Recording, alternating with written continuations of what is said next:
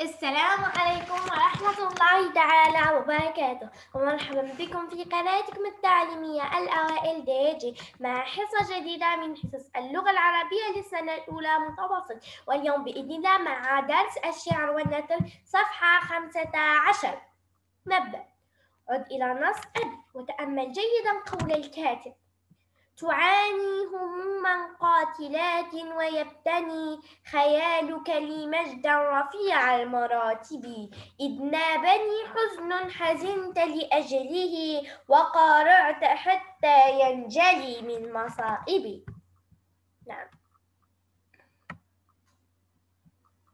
بعد أن قرأنا الشعر ننطلق الآن اقرأ الفقرة التالية. يا أبي. إنك تعاني من أجل الهموم التي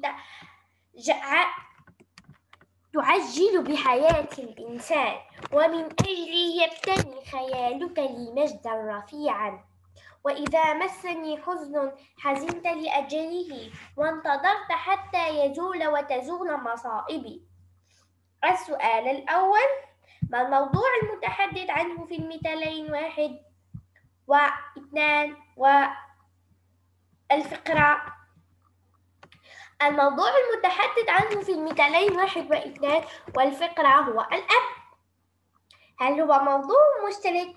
كيف ذلك؟ ما الاختلاف بينهما؟ ماذا تستنتج؟ نعم هو موضوع مشترك لأن كلا كل كل الموضوعين يتحدثان عن الأب الاختلاف هو أن المثالان واحد واثنان من الشعر أما الفقرة فهي من النثر وأستنتج ما يلي. يختلف الشعر عن النثر في كون الأول موزونا مقفى به إيقاع والثاني لا يهتم بالوزن والقافية والإيقاع. نعم. تعريف الشعر والنثر. الشعر يعرف على أنه الكلام الموزون المقفى جمعه أشعار.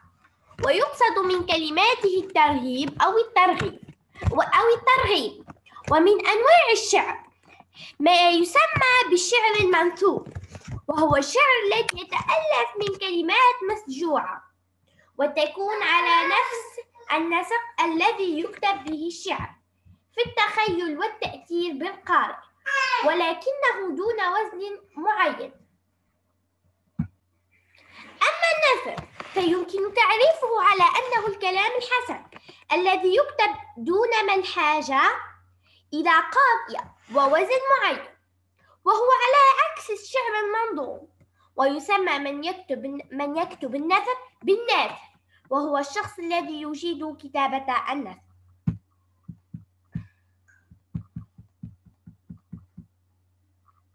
الفرق بين الشعر والنثر ينقسم الكلام إلى كلام منظوم شعر ومنثور نثر.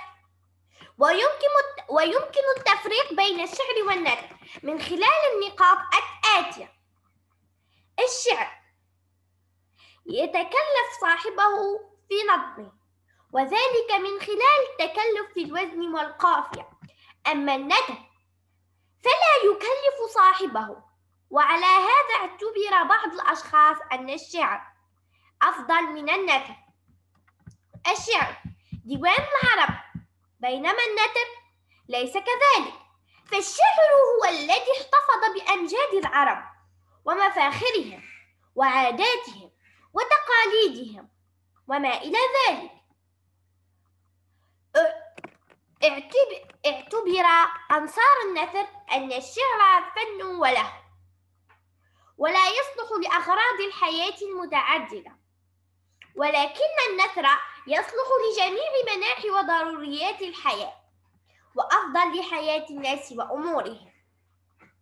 النثر هو لغة هو لغة السياسة والخطاب ولغة العلم وكذلك لغة الدين. الناثر ينثر كلامه إما واقفا وإما جالسا. ولكن من الضروري أن ينشد الشاعر شعره وهو واقف.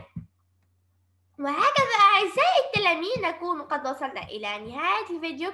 وأخيرا لا تنسوا لايك والاشتراك بالقناة وتفعيل الجرس ليصلكم كل جديد. والسلام عليكم ورحمة الله تعالى وبركاته.